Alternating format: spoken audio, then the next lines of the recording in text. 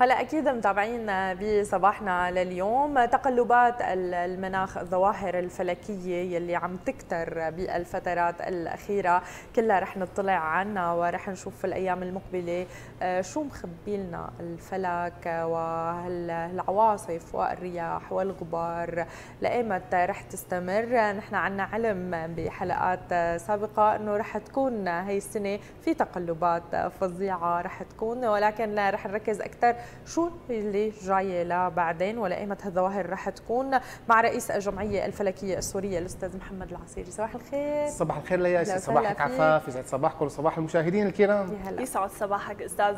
يعني كلنا كنا حيرانين وعم نتساءل إنه ليش هيك عم يصير؟ شو هالغبرة؟ شو هالجو؟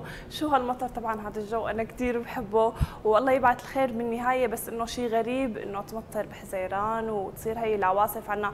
خلينا نعرف كلنا عنه فضول شو هي الأجواء بالفترة القادمة رح تكون. تمام. هلا بالبداية مثل ما تفضلتي تغيرات غريبة. مو بس بسوريا بالعالم كله كان في اضطراب مناخي تغيرات مناخية آه لدرجة إنه مثلا كنا عم نحكي تحت الهواء مع أستاذ رامي بوجه تحية إنه بمصر من يومين صار في عاصفة آه ترابية من أندر العواصف الترابية التي تحدث بمصر. نعم نحن نشهد تقلبات مناخية نحن نشهد تغيرات بطبيعة الجو بمعنى إنه إذا لاحظتوا الشتاء امتد تداخل مع الربيع وبنفس الوقت الصيف رح يتداخل مع الخريف. آه، طبيعة الفصول الأربعة نتيجة وجود كمية كبيرة من غاز ثاني أكسيد الكربون بدأت تختفي. طبعا هي الظاهرة مو بس بسوريا هي ظاهرة عالمية. طيب شو السبب؟ مين المسبب؟ الشمس فيها شيء؟ لا. الشمس يوميا بنتابعها يوميا بنرصدها بنتابع البقعة الشمسية بنوثقها خوفا من انفجار أي بقعة شمسية. قد تؤثر على الاتصالات والأقمار الصناعية على الأرض. لكن الشمس طبيعية. إذا من المسبب؟ نسبة غاز ثاني أكسيد الكربون وغاز الميثان يلي وصل لأكبر رقم بتاريخه الآن.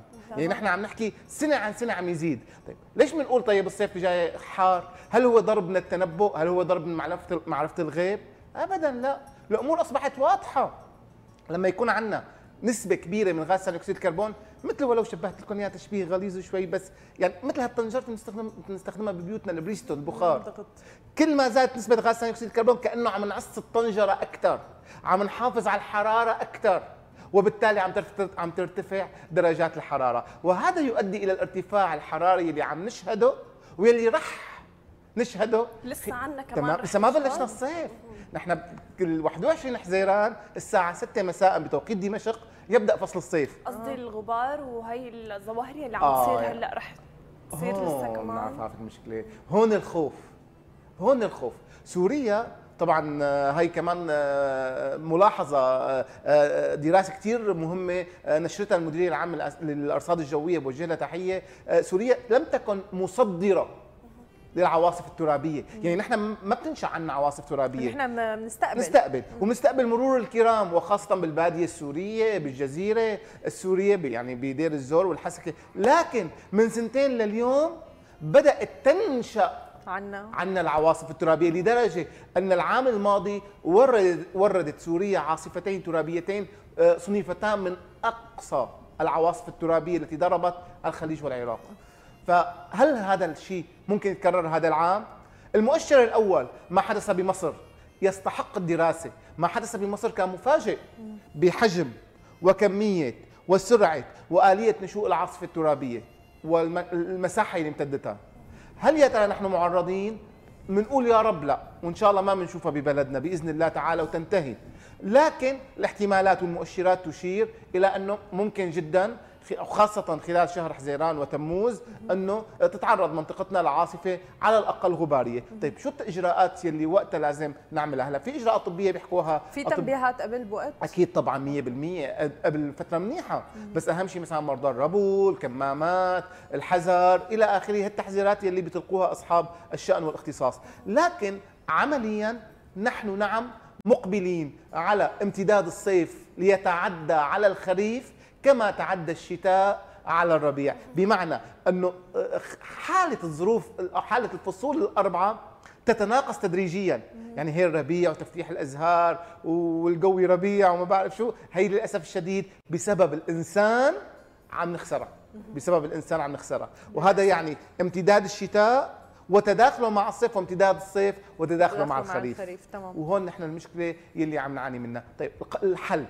الحل هو بموضوع الإرادة.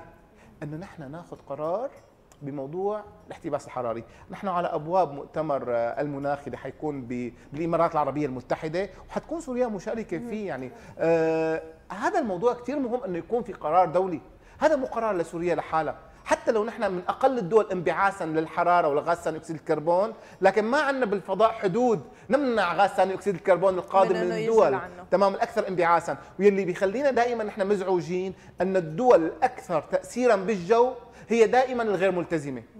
يعني الدولة الأكثر تأثيرا في الجو رقم واحد بالتأثير المناخي وكب وصب غاز ثاني أكسيد الكربون وحتى باستخدام الفحم الطبيعي أو الفحم الحجري. الآن الذي هو أيضا مسبب كبير لغاز ثاني أكسيد الكربون آه، ما عم تلتزم بمعاهدة باريس للمناخ اللي بيفرض عليها غرامات مالية من جراء استهلاكها الغير طبيعي للغلاف الجوي. تمام دكتور محمد خلينا هيك نحكي أكثر يمكن ظواهر غريبة عجيبة وكل حدا بيقول بعد ناقصنا هي الظاهرة وبعد ناقصنا هي الظاهرة. يعني شو في شيء لسه ما مر علينا. خلينا نحكي عن أبرز الظواهر يلي حكينا عنها ومرقت. وفي في ظواهر فلكية يمكن مرقت مرور الكرام ما حسينا فيها. صحيح. مثل حضرتكم أكيد أنتم مترقبين ومترصدين لهي اللي هي الظواهر. خلينا نحكي شو جاي عنا فلكيا قصص جديدة. تمام بدي وقف بس آه، ليا ذكرتيني بدي أعرج على نقطة كثير كثير مهمة. بما نحن بما إنه نحن بحضره تكريم آه، عالم الآثار الإيطالي باولو ماتيه آه، لاكتشافه مدينة إبلا الأثرية المدينة اللي عمرها 3000 قبل الميلاد. يعني نحن عم نحكي عن حضارة قديمة جدا مملكة كانت تسيطر على شمال غرب سوريا وامتدت. مملكة قدمت آه، فعلا نموذج حضاري كبير جدا. آه، بعام 2019 نقلنا إبلة من الأرض إلى السماء. بعام 2019 بشهر 12 سمينا نجم باسم إبلة بكوكبة كما يعرف عند الناس ببرج الحوت يدور حول كوكب. هذا الكوكب سمي أوغاريت. فأطلقنا اسم إبلة آه، عالميا على هذا النجم وعلى هذا وعلى الكوكب اسم أوغاريت. ليش اخترنا إبلة؟ لأنه ابلا اولا ارتباط ابلا بأوغاريت موضوع الأبجدية واكتشاف الأبجدية الأولى في سوريا والأبجدية الأتم في العالم يلي بتضم 30 حرف والى آخره ما حفوت بالتفاصيل الأثرية. لكن ارتباط ابلا مع أوغاريت جعلنا نربط نجم مع كوكب يدور حوله. فكان هذا الاكتشاف اللي حدث بعام 2019 والتسمية التي آه، آه، كنا كثير متحمسين لها وكثير دافعنا عنها وكثير قدمنا دراسات وإثباتات على أهمية ابلا حتى اعترف الاتحاد الدولي للفلك بكل منظماته بهذا الاسم. طبعا بعد كوكب تدمر بعام 2015 أصبح لدينا كوكب أوغاريت ونجم ابلا ب 2019 فأنا بدي انتهز الفرصة لحتى أذكر إنه مو بس إبلة صار عنا بالأرض صارت عنا إبلة حتى بالسماء وبكوكبة الحوت يعني هو نجم نستطيع أن نشاهده بعيننا المجردة ويدور حوله كوكب يسمى أوغاريت. ليش نحن عم نعمل هذا الشيء؟ نحن عم نحاول دائما نوثق تاريخنا وتراثنا وحضارتنا بالسماء لنذكر العالم أجمع إنه مو بس نحن على الأرض لا ونحن أيضا بالسماء. دائما آه، بصماتنا يلي على الأرض قادرين أن ننقلها إلى الفضاء فكان آه، نجم إبلة كما يلفظ يكتب وأوغاريت يعني. لما نحن بالمؤتمرات بيحكوا مثلا نجم إبلة بدهم يبرروا ليش نجم إبلة؟ شو هذا نجم إبلة؟ شو ميزات نجم إبلة؟ فيحكى عن حضارتنا يمكن من أبرز الإنجازات أيضا اللي لازم دائما تنذكر آه، إنه نحن يعني كنا بظروف صعبة ولكن قاتلنا لحتى نحصل على اسم تذكري ليا. نعم. صحيح. تدمر وقبله فعلا نحن عم نحكي بعام 2015 و2019 يعني رغم الظروف الصعبة ورغم آه، خليني اكون معك صريح ليا إنه ما كانوا أساسا هن متقبلين. آه لكن نحن كنا من الناس يلي لا. نحن عندنا إثباتات علمية عندنا واحد اثنين ثلاثة ناقشونا علميا. خلونا نحن نحكي بالمنطق العلمي. والمنطق العلمي فرض نفسه. لم يكن هناك اسم أفضل من إبلا وأوغاريت بعام 2019 لم يكن هناك تبرير علمي وارتباط حقيقي كما ارتباط إبلا بأوغاريت. لم يكن هناك بصمة عالمية كما تركت تلك البصمة أوغاريت وإبلا لا ننسى أوغاريت كمان سيمفونية موسيقى. صحيح. فإذا في ارتباطات عديدة. نحن هذا الشيء اللي أكدنا عليه. كما أكدنا على تدمر. تدمر قديش عظمه هالمدينه فكتير كنا متمسكين بهذا التاريخ. ما رحنا للأسماء ما رحنا لشخصيات. نحترم كل العلماء اللي بتتسمى أسماء النجوم بأسمائهم أو الكواكب. حقهم المكتشفين إنه يتسمى بأسمائهم. لكن أيضا من حقنا أنه نخلد مدننا التاريخية في الفضاء. لأنه كان إذا بنتذكر وقت تدمر وقت ابله وأوغاريت قديش في عدوان كان على المناطق الأثرية. قديش في شجع وججع وطمع على آه، سرقة آثارنا وممتلكات بلدنا آه، وكنوز بلدنا. هذا الشيء اللي نحن خلانا نحاول كل جهدنا أنه نحافظ على هالشيء بالفضاء حتى يبقى للتاريخ. إذا حاولوا ولن يستطيعوا انه ياثروا على الأرض لن يستطيعوا أن يؤثروا في التاريخ. تاريخ دائما مستمر. برجع لسؤالك ليا الاحداث الفلكية ونحن في حضرة أيضا آه، ذكرى عام 1963 فالنتينا تريشكوفا أول رائدة فضاء تنطلق إلى الفضاء بعام 1963 بحزيران ب 16 حزيران. نحن لدينا الآن حدثين. أنا مشان اكسب الوقت. الحدث الأول اللي عم نترقبه هو الانقلاب الصيفي. ب 21 حزيران يبدأ الصيف الساعة 6 المساء بيبدا فصل الصيف طبيعيا. طبعا نحن حنشعر قبل منه بالصيف. من هلأ رح نشعر تدريجيا بالصيف. يعني ما رح ننتظر ل 21 آذار. لكن الحدث الثاني اللي بخلال الأيام القادمة واللي عم يترقبوه معظم الناس اللي هو موضوع عيد الأضحى وهلال ذي الحجة.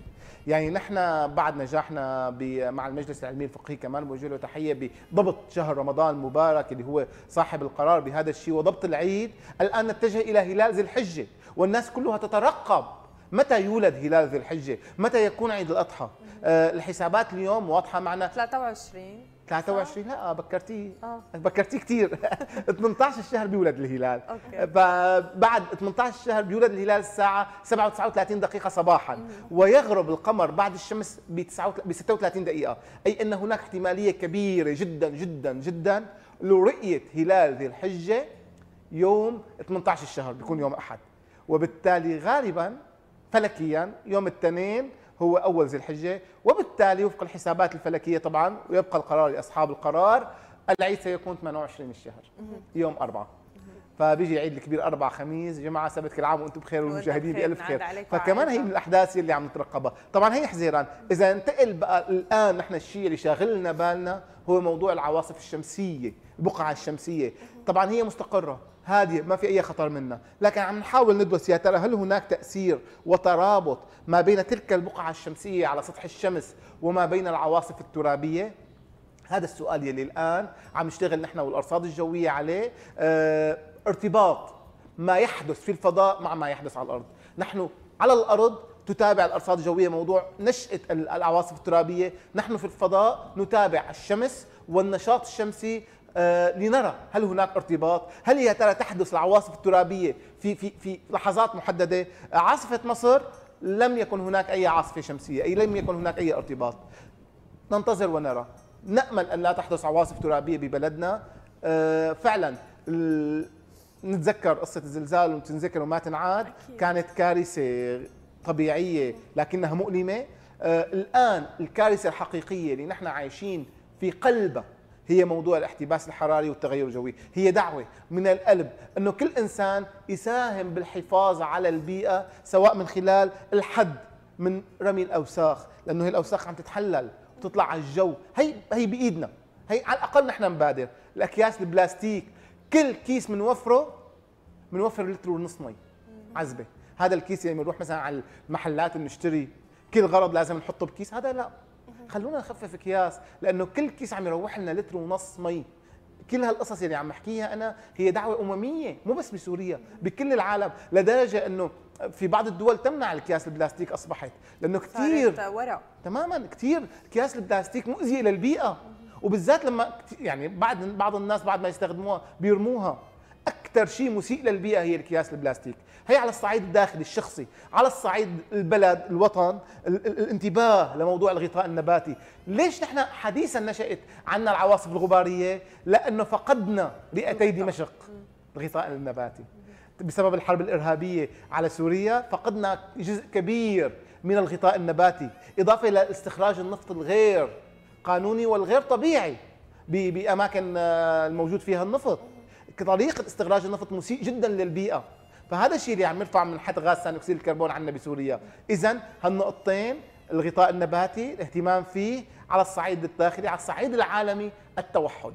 ويجب التوحد لأنه ضربة الاحتباس الحراري لن ترحم. خلينا نحكي عن الاحتباس الحراري. هي مساوئة كل حدا عم يتساءل شو هي الاحتباس الحراري؟ نحن حكينا بعض الأسباب يلي بتسببها ولكن إذا صار في احتباس حراري وانفجرت بالعالم كله آه، كيف رح تأثر على سوريا؟ تمام. شو هي يعني كيف الناس رح يستقبلوا هيدا هي الضربه كثير حلو. هلا نحن نحن بسوريا الأقل تاثرا صراحة يعني بكل وضوح وبكل ثقة لكن من أكثر تاثرا؟ ما بنقبل دكتور لازم أكثر.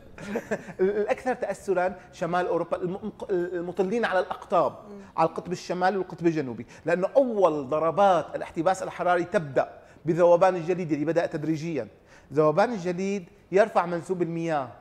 فتغرق مدن مثل البندقية اللي مهددة بالغرق مثل أندونيسيا والجزر الأندونيسية اللي بدأت مثل المالديف يلي أعلنت فيها حالة أعلنت فيها حالة الطوارئ بسبب أنها تتعرض للغرق. إذا تبدأ بعض الجزر والمدن الكبرى بالعالم بالغرق. بعدين بتتغير. مسار ال... تمام. تتغير آه، خارطة العالم. تصبح الصحاري غابات والغابات صحاري. يعني يصبح الصيف شتاء والشتاء صيف. وبالتالي تتغير الأجواء. أمطار تصبح سيلية. تذكري لي يا عفاف أمطار سيلية.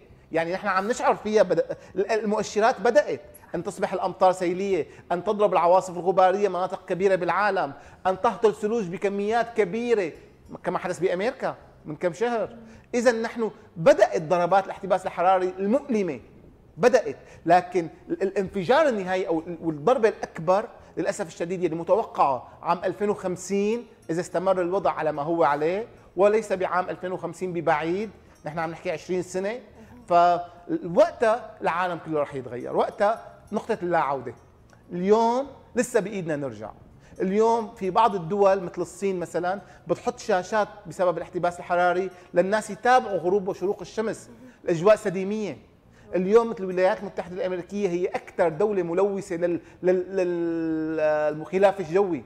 للأسف لا تلتزم بالحد بل تزيد باستهلاك الفحم الحجري. ما عم ترتدع رغم ما حدث بها من عواصف ثلجية قاسية جدا. نحن أمام مشكلة تحتاج إلى حل. قد نأخذ قرار الحل هذا العام قد لا نأخذ قرار الحل لكن بالنهاية يجب أن يؤخذ قرار الحل. شو قرار الحل الحل أن نخفف من استهلاك غاز ثاني أكسيد الكربون نحد من استهلاكه ورميه إلى الفضاء.